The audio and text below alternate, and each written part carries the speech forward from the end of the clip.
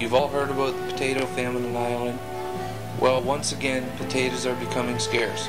But unlike the famine, which was a result of nature, this is being caused by humans. The carelessness of fast food chains with french fries has brought the potato to the brink of extinction once again. But there is a savior.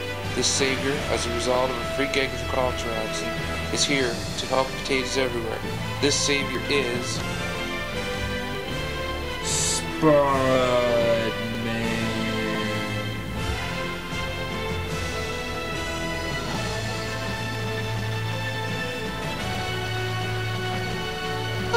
Spudman! Yes, Bob. Spudman! Our instruments show there's a potato in showroom sector 28. Okay, Bob.